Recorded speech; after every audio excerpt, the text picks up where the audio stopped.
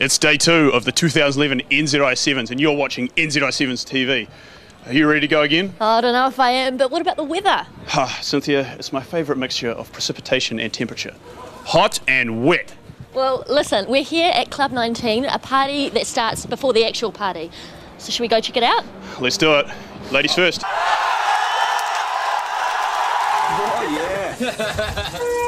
All right, good morning, everybody. I'm here in beautiful Mount Victoria with uh, Willy, Willy. Willy, how are you feeling today, mate? tip top.